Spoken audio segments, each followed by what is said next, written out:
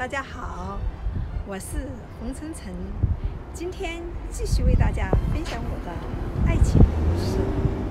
前面的视频说到，在我五十余岁的时候，我老公单膝下跪，给我戴上了订婚。我和我老公订婚以后，老公做了一件让我意想不到的事情。我老公是洛杉矶机场的高级管理，可以享受免费坐美国航空公司的飞机去到世界各地，而作为他的伴侣，同样享受和他一样免费乘坐美国航空公司的飞机去到世界各地的福利。我和我老公订婚以后，老公以妻子的名义为我申请了这样的福利，所以我现在到世界各地，如果坐美国航空公司的飞机也是免费的，而且还可以坐头等舱。而且在这个申请没有批准下来之前，老公从来没有告诉过我。当我问他为什么没有告诉我有这样的福利的时候，他说：“我都还没有办到的事情，为什么要告诉你呢？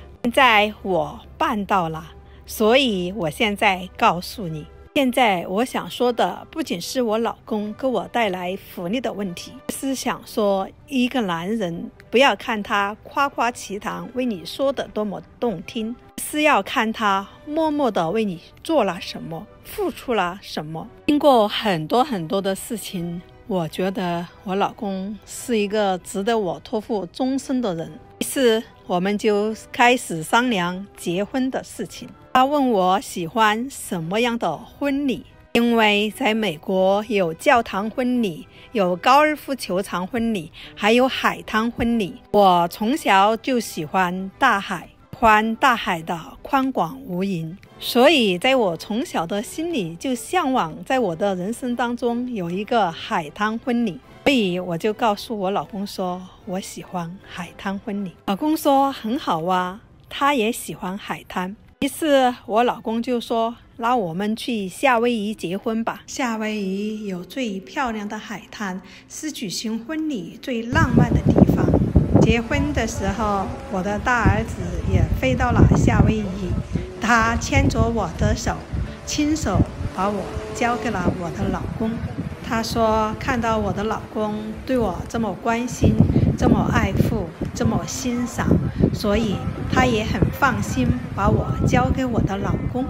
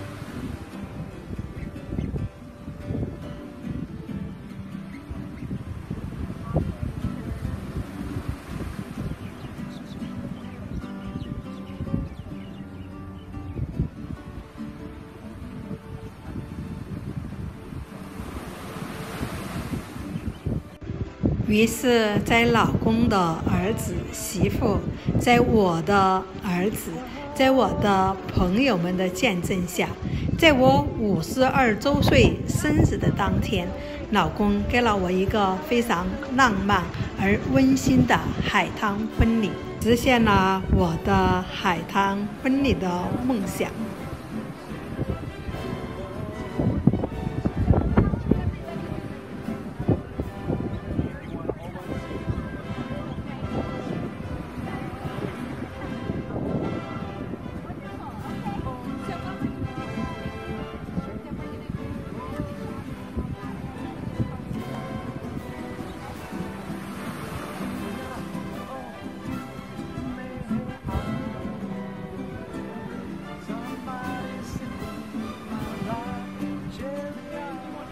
感谢老公，希望我们余生天天快乐，天天开心。